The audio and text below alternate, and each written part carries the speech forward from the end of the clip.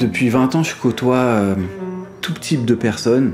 J'ai des amis euh, qui sont avocats, mais aussi des amis qui sont des anciens voyous. Et c'est vrai que je sais pas d'où ça vient, mais j'ai toujours été euh, attiré et inspiré par des, des quartiers dits sensibles ou des zones euh, qui font pas forcément rêver. MyG Ça, Big Bro C'est toi, bien comme vous. Nickel. Tranquille, moi, je t'ai changé de caisse. Quand je suis dans un quartier, je sais jamais sur quoi je vais tomber.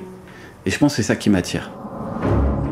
C'est ces regards-là que je recherche. C'est sûr que c'est compliqué parce que quand tu cherches quelque chose d'intense, on n'est plus dans la beauté classique. Avec vous. Ça m'est arrivé plein de fois de rencontrer des mannequins euh, très beaux ou très belles, mais il manquait cette petite chose-là en fait. C'est le feu, c'est ce qu'on a en- au fond de nous et qui nous rend euh, puissants, fiers. Peut-être que c'est ça qu'on appelle l'allure. Who knew I would make it this far? They hated, they never believed me. Yeah, I would never drop the ball. I know I make it look easy. Yeah, Mayweather with the defense. I don't care what a critic got to say. I got 'em picking up the pieces. Hook it up. Reste en smooth là, ça c'est bon. Tu vois, là- Dans mon métier, on n'est jamais à 100% libre. Généralement, moi, je suis avec euh, une grosse équipe. Je suis une espèce de chef d'orchestre qui répond à un client, à un budget.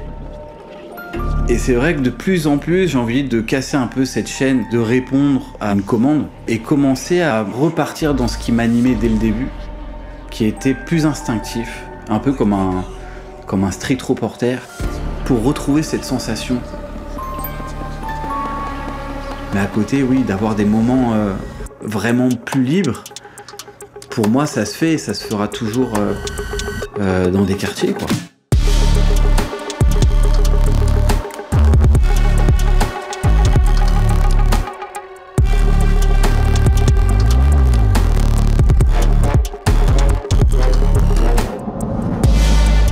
Vraiment gardé cette habitude de rider, de rouler euh, et de me perdre quand j'ai commencé, c'était mon quotidien en fait. Sans programme, sans rien. C'était que de l'improvisation totale.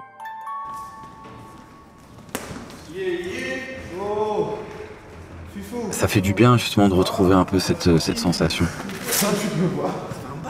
En gros, tu, tu m'oublies un peu. Tu vois, je vais un peu me fondre. euh, je te suis dans ton entraînement. Et euh, j'ai pris le pari de faire que de l'argentique, donc je sais pas ce que, ce que je vais obtenir. Mais l'idée, c'est de choper les, les- les bons flux de bouger, les, les belles dynamiques euh, dans ton Vas-y. Plus vers le haut encore. Voilà, ça c'est beau ça. Ok. En fait, ce que je recherche, c'est la détermination dans le regard. Quelque chose d'assez euh, force tranquille en fait, c'est ça. Juste les yeux qui me regardent. Oh, voilà.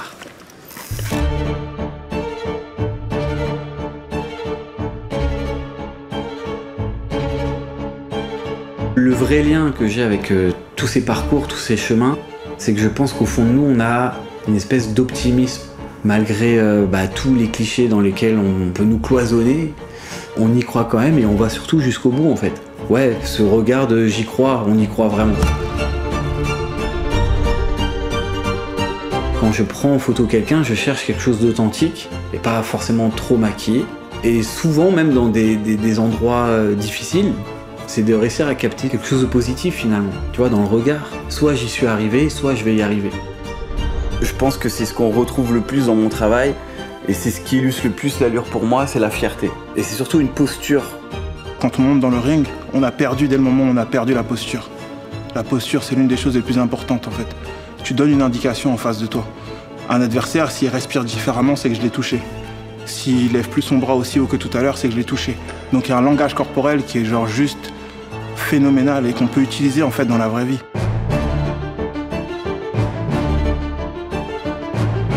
C'est vrai que souvent, euh, les personnes plus dans l'ombre, en arrière-plan, ont parfois des parcours euh, fascinants en fait. Ce qui m'importe, c'est de les rendre fiers de ce qu'ils sont. Et ça, c'est des choses que je capte de plus en plus.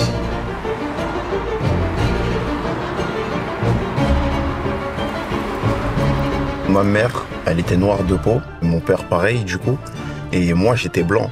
Et quand tu pars à l'école et qu'on te demande si t'es adopté, on a beau t'expliquer que bah non t'es pas adopté, c'est la vie qui est comme ça, mais quand t'es jeune tu comprends pas forcément, tu vois. J'ai senti déjà ta puissance. Parce que t'as un truc naturel, tu vois. T'as une aisance. On sent que t'es es là, t'es présent.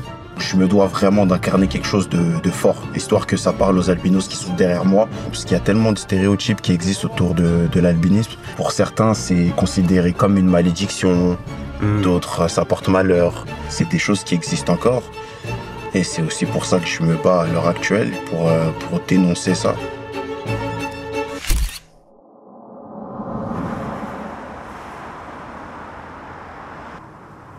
L'énergie que je peux trouver dans la rue, c'est quelque chose qui me transperce. C'est pas quelque chose de perceptible. C'est-à-dire que généralement, je vais chercher un peu dans les coins sombres, dans des environnements euh, où de l'extérieur on, on trouve pas ça forcément beau ou esthétique. Bah moi, je vais réussir à trouver de l'allure là-dedans en fouinant un petit peu. Est-ce comme ça, ça tue? Ouais, ouais, ouais.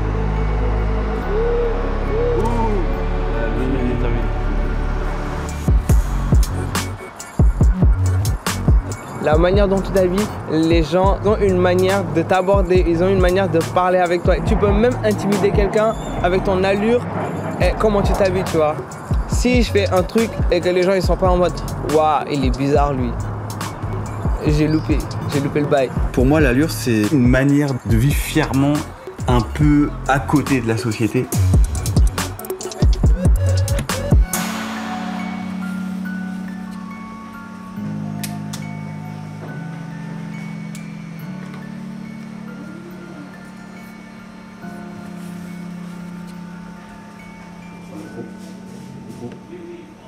Toutes ces personnes, tous ces talents que, j'ai pu rencontrer et que j'ai surtout eu la chance de prendre en photo, je les ai toujours vus comme des super-héros.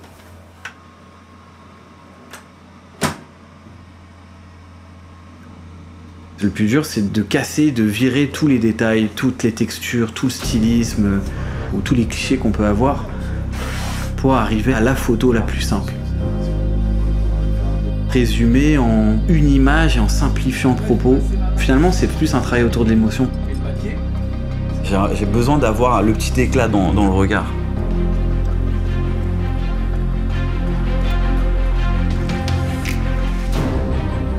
Tu vois, quand on dit lui c'est une star. Mais en fait, la star c'est quoi? C'est une allure en fait. C'est un feeling, c'est une manière de se poser. C'est quelque chose d'assez subtil en fait. C'est une saveur. Mais maintenant, j'arrive à capter ce truc. euh, on va tout arracher quoi. On va être numéro un. C'est ce que j'aime en fait. C'est ce côté euh, décomplexé, parfois un peu cliché, de dire bah je serai numéro un.